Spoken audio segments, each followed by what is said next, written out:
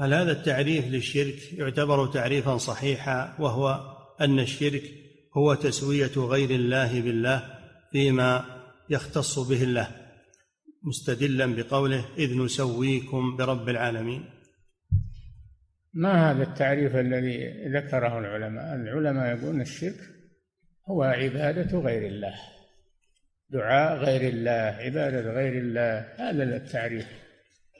ما جابوا التلو الملوى هذا الكلام الملوى ما نعرفه هذا.